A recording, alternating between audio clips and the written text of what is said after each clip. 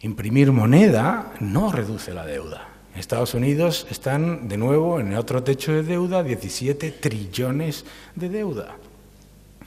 El gasto público no soluciona la crisis. En Japón ya están por encima del 200% de deuda sobre PIB ¿eh? y a pesar de pagar un 0,6% por sus bonos a 10 años, porque claro, la gente dice, no, el problema no es eso, el problema es que eh, la deuda está muy cara eh, al 4%, la deuda está muy cara al 4% y sin embargo nos parece que los países emergentes, los latinoamericanos, no están muy caros al 12%, ¿no?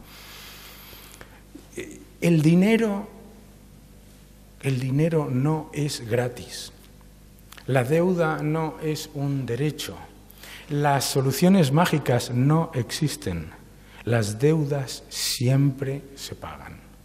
Las deudas siempre se pagan. Cuando se hace impago, se pagan las deudas. Pero ¿quién paga las deudas cuando, cuando un país hace impago? Ustedes. ¿Qué pasa cuando un país hace impago? ¿Qué, ¿Qué, crédito tienen las pymes? ¿Qué crédito tienen las familias? ¿Qué crédito tienen las empresas? Ninguno.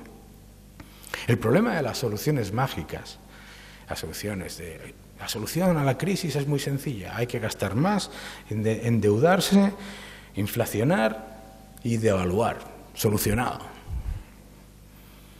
Si esa es la solución, ¿por qué los países que lo hacen no tienen pleno empleo? Porque hay países que lo llevan haciendo 20 años, ¿no? Deberían estar con pleno empleo, vamos, de hecho deberían estar importando, ¿no? Porque países que aumentan su masa monetaria un 18% anual deberían estar importando empleo. Pues porque no es cierto.